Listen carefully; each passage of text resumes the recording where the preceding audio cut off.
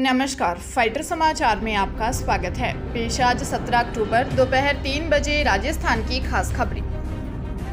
राजस्थान के पूर्व deputy CM Sachin Pilot ने दिल्ली कैंट के टेरिटोरियल आर्मी में कैप्टन से मेजर पद पर प्रमोशन के लिए हुई परीक्षा में भाग लिया। परीक्षा का रिज़ल्ट जल्द आएगा।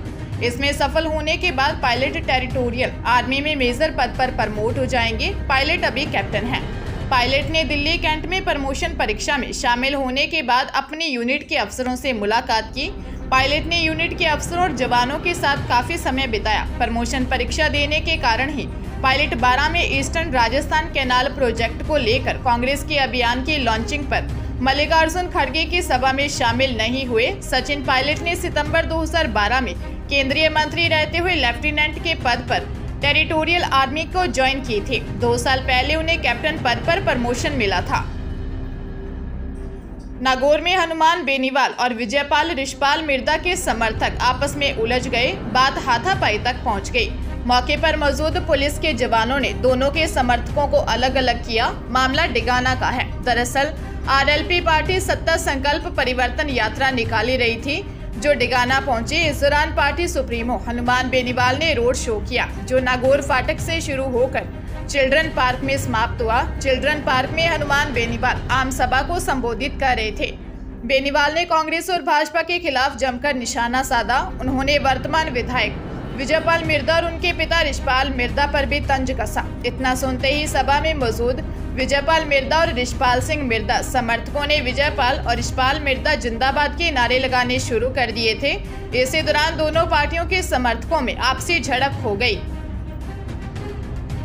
हनुमानगढ़ में न्यायालय विशेष न्यायाधीश एनडीपीएस प्रकरण, रूपचंद सुथार ने पोस्ट तस्करी के मामले में दोषी को 10 साल के कठोर कारावास की सजा सुनाई है और एक लाख रुपए का जुर्माना भी लगाया है। विशिष्ट लोक अभियोजक दिनेश दादिश ने बताया कि 4 जुलाई 2017 को टीबी पुलिस थाना इलाके के बशीर चौकी के तत्कालीन प्रभारी ने पुलिस टीम के साथ नाकाबंदी की थी। नाकाबंदी के दौरान एक मारुति कार गुडिया गाँव की ओर से आई। कार को रोककर चेक किया तो उसमें रिपू दमन निवासी हनुमानगढ़ टाउन बैठा था। कार ड्राइवर वीरेन चाहर उर्फ़ वरुण चाहर मौके से भाग गया। कार को चेक किया तो चार कट्टे डोडा पोस्त से भरे हुए मिले। इनमें कुछ चौसठ किलोग्राम डोडा पोस्त भरा हुआ था। पुलिस ने पोस्त बरामद कर कार जब्त कर रिपू दमन को गिरफ़्तार किया। तलवाड़ा झील पुलिस थाने ने मामले में जाँच की और आरोपी रिपू दमन और वीरेन उर्फ़ वीरेंद्र कुमार, निवासी चार की एस पी एस टिब्बी के खिलाफ न्यायालय में आरोप पत्र प्रस्तुत किया। राजधानी जयपुर के फ़ेमस रावत स्वीट्स के स्टोर्स पर आयकर विभाग ने छापा मारा। विभाग को यहाँ आय को लेकर अनियमितता की जानकारी मिली थी। इस पर 50 से अधिक अधिकारियों ने सर्वे शुरू किया। जोधपुर में दो जगह पर और जयपुर में चार जगह पर सर्वे आज भी चल रहा है। जानकारी के अनुसार रावत स्वीट्स के बारे में आईटी को पहले भी शिकायत मिली थी। इस शिकायत के आधार पर आईटी की टीम ने जाँच की। जाँच में पता चला कि अकाउंट्स में हेरफेर किया गया है। पहले इनकम टैक्स की टेक्निकल टीम ने सर्वे कराया। आरोप प्रमाणित होने पर टीम सर्वे करने पहुँची। विश्वकर्मा इंडस्ट्रियल एरिया में भी दो जगहों पर सर्च की बात सामने आ रही है। रावत स्वीट्स के मुख्य कार्यालय में भी आईटी की टीमें रिकॉर्ड का सर्वे कर रही हैं। फलौदी में एक प्राइवेट बस पलटने से चार लोगों की मौत हो गई 24 घायल हो गए। बस रामदेवरा जैसलमेर से फलौदी की तरफ़ आ रही थी। हादसा फलौदी थाना क्षेत्र के कालरा गाँव में हुआ। घायलों को फलौदी जिला अस्पताल लाया गया। जहाँ उनका इलाज चल रहा है। सूचना पर एडिशनल एसपी सौरभ तिवारी और एसडीएम अर्चना व्यास भी अस्पताल पहुँचे। बस में सवार अधिकांश यात्री औसिया और फलौदी क्षेत्र के हैं। एसपी हनुमान प्रसाद ने बताया, बस काफ़ी स्पीड में थी। कालरा गाँव के पास बस ड्राइवर स्पीड को कंट्रोल नहीं कर पाया और आगे चल रही कार को टक्कर मार दी। ऐसे बस अनियंत्रित होकर पेड़ से टकरा गई और पलट गई। हादसे में 25 वर्षीय भवानी कंवर मेघवाल 24 वर्षीय रूप सिंह निवासी देणुक और 48 वर्षीय भंवरलाल बिश्नोई और मृतक की शिनाख्त नहीं हो पाई है। पुलिस मामले की जाँच कर रही है। पंजाब कांग्रेस के पूर्व विधायक कुलबीर सिंह जीरा को फिरोजपुर पुलिस ने गिरफ़्तार कर लिया। पुलिस ने उन्हें उनके घर से उठाया। इसके बाद उन्हें ड्यूटी मजिस्ट्रेट के सामने पेश कर न्यायिक हिरासत में भेज दिया गया है। जीरा पर बीडीपीओ कार्यालय पर धरना देने और काम में बाधा डालने के आरोप में एफआईआर दर्ज की गई है। वही जीरा की गिरफ्तारी के विरोध में समर्थकों ने हाईवे पर प्रदर्शन किया। उन्होंने कुलबेर जीरा को फिरोजपुर से रोपड़ जेल ले जाते वक्त पुलिस काफिले को तलवंडी में रोक दिया। पूर्व विधायक जीरा ने कहा कि मैं सरकार व स्थानीय विधायक के खिलाफ हाईकोर्ट का रुख करूँगा। विधायक ने कहा कि वे आज प्रेस कॉन्फ्रेंस में फिरोजपुर एसएसपी की नाक के नीचे हो रहे नशे के कारोबार वह कहाँ कहाँ नजायज रेत बेची जा रही है वह किसकी शय पर ऐसा हो रहा है के बारे में खुलासा करने वाले थे। इसी के डर से उन्हें सुबह ही गिरफ़्तार कर लिया गया। कांग्रेस ने 12 से अपने चुनावी अभियान की शुरुआत कर दी है। चुनावी अभियान की शुरुआत में कांग्रेस ने ईआरसीपी को मुद्दा बनाकर जमकर केंद्र सरकार पर हमला बोला। नेता प्रतिपक्ष राजेंद्र राठौर ने जयपुर में पीसी कर कांग्रेस पर निशाना साधा। नेता प्रतिपक्ष राजेंद्र राठौर ने कहा, कांग्रेस ईआरसीपी का झुंझुना पकड़ाकर जनता को गुमराह कर रही है। हमारी सरकार बनने पर हम ईआरसीपी प्रोजेक्ट को पूरा करेंगे, उन्होंने कहा। 23 जनवरी 2023 को राज्यपाल ने अभिभाषण के दौरान कांग्रेस ने कहा था कि वह ईआरसीपी को दो हज़ार इक्यावन तक पूरा करेगी। वहीं 2021-22 के बजट में इसके लिए सैंतीस हज़ार करोड़ के बजट की घोषणा की थी। सीएम गहलोत 2019 से लेकर अब तक कहते आए हैं कि राज्य सरकार अपने संसाधनों से ईआरसीपी को पूरा करेगी।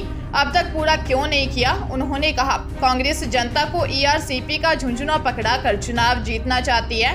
नेता प्रतिपक्ष राजेंद्र राठौर ने कहा कि प्रदेश के तेरह जिलों के लिए ईआरसीपी प्रोजेक्ट वसुंधरा राजे सरकार ने बनाया था। हमारी सरकार बनने पर हम ईआरसीपी प्रोजेक्ट को पूरा करेंगे।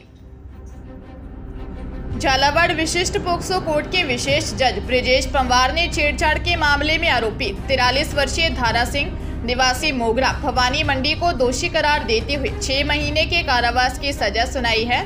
विशिष्ट लोक अभियोजक रामहितार गुर्जर ने बताया कि 19 मार्च 2023 को पीड़िता ने पिता के साथ पुलिस थाना भवानी मंडी में एक रिपोर्ट देकर बताया कि पीड़िता खेत पर गई थी।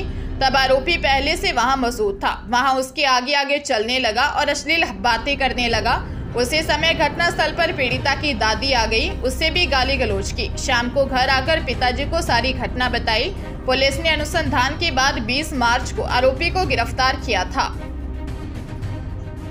जयपुर में पति से दोस्ती कर एक महिला से रेप करने का मामला सामने आया है। आरोपी ने पीड़िता को कमरे में अकेला पाकर उसके साथ रेप किया। इसके बाद बदनाम करने की धमकी देकर ब्लैकमेल कर देह शोषण किया। मुरलीपुरा थाने में 27 साल की महिला ने दर्ज रिपोर्ट में बताया कि वह मुरलीपुरा स्थित एक फैक्ट्री में जॉब करती थी। फैक्ट्री के माल की डिलीवरी के लिए आरोपी नारायण अपना ऑटो रिक्शा लेकर आता रहता है। इसी दौरान आरोपी ने उसके पति से दोस्ती कर ली और पति को भी अपने साथ काम पर लगा लिया। नवंबर 2022 में लंच टाइम में फैक्ट्री के पास बने कमरे में अकेला पाकर आरोपी नारायण ने रेप किया। इसके बाद बदनाम करने की धमकी देकर ब्लैकमेल कर देश शोषण करता रहा। पुलिस मामले की जाँच कर रही है। राजधानी जयपुर में खंडेलवाल सोशल ग्रुप की ओर से नवरात्र स्थापना के अवसर पर एंटरटेनमेंट पैराडाइज के ईस्ट लॉन में डांडिया गरबा महोत्सव का आयोजन किया गया।